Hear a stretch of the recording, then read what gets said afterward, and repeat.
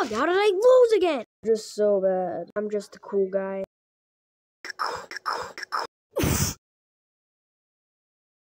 you owe me five bucks.